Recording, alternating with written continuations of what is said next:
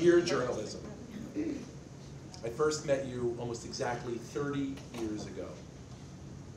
I was a junior at Harriton High School in Rosemont, Pennsylvania, on the suburbs of Philadelphia, and I joined the, stu- uh, the student newspaper, the Free Forum. And one of the very first stories that I did was one that I came up with myself. When I was in gym class, I had $15 stolen out of my wallet. But it was a really curious theft because they stole the You tens in, right? and the fives, You gonna come in. but not any of the ones. And so I wondered, had other people also had money stolen in this way? And I started asking around about friends. And it turned out that a lot of them had had the same exact pattern of theft, where the big bills were taken and the ones were left.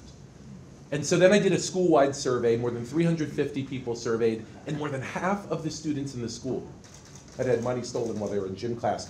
A quarter of the freshman class, and they'd only been on campus for two months.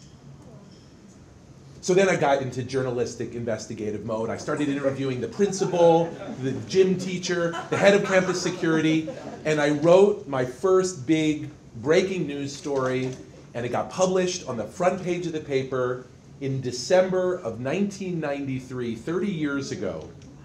And I remember seeing everybody in homeroom reading the newspaper and just that feeling of intoxication, knowing that I had found my professional love. And it was absolute love at first sight. I loved the feeling of knowing that I was changing lives and making an impact and pursuing my curiosity to its end. And so I went out and started to do follow up reporting.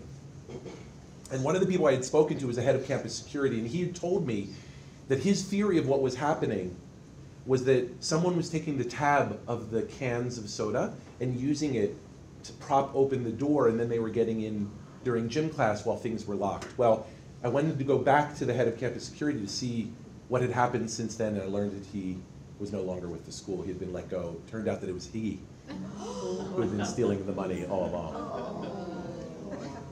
Well, this love affair with journalism, I was such a perfect fit. I was insatiably curious. I was fantastic on deadline.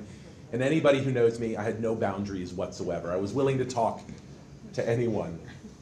And it was an incredible fit because it was a two sided puzzle. On one side, the puzzle is figuring out the pieces of the story, reporting it out, and understanding what are the puzzle pieces, what are their shape. And then the second part of the puzzle was then fitting them together into coherent narrative, into a coherent story. I loved doing the work. I was a journalist all through college, and then my first job out of school was as an intern at the Washington Post. And I got to meet Ben Bradlee and Kay Graham and Bob Woodward, luminaries of journalism, and for that I am so grateful.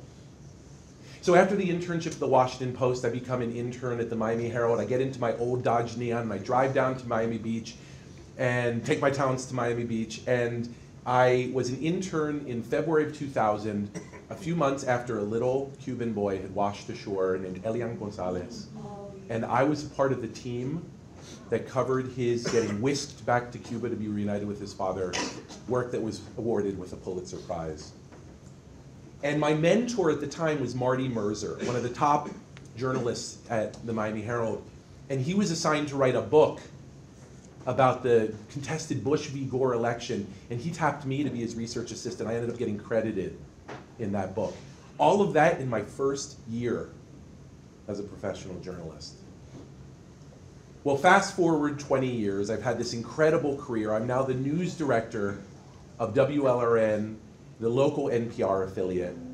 And then suddenly and completely unexpectedly, journalism, you broke up with me. I was fired. And I wasn't just fired, I was fired publicly. It was published in the industry press, it was published in the local newspapers, and it was the most difficult moment of my professional life. When journalism broke up with me, you almost broke me. And I had a, my daughter who's here was nine months old. My wife was on maternity leave still. We didn't have a salary. I lost my friends. I lost my professional identity. And I'm so thankful to my parents, to my wife, to my baby daughter for helping me through what was the most difficult period of my life. But it didn't break me, it broke me open.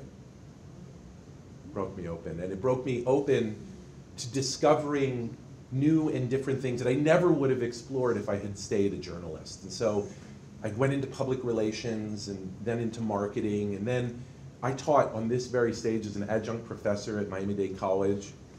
And then eventually I discovered entrepreneurship. And so today I am the proud owner of a small business. It's called BizHack Academy. We train other small businesses in how to market themselves and to grow faster through digital marketing and AI tools. And I have never been more professionally fulfilled than I am today. There was something about journalism that I never really loved, and it was that I was a hired gun. They told me, journalism, you told me what to cover. And I didn't always enjoy the topics, the beats. I, sometimes I, I, I felt like I had to cover it because it was my job. I loved the act of being a journalist. I loved that two-sided puzzle, but I didn't always love what I covered.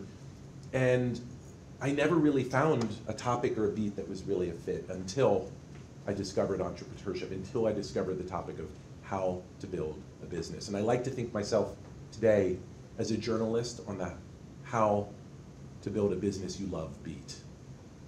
So that's a picture of me as a hotshot foreign correspondent. I'm in Buenos Aires, Argentina for the Miami Herald at the time. And I'm looking at me today, grayer, older, a little heavier. And I would think that my old self would be proud of where I've landed. Thank you.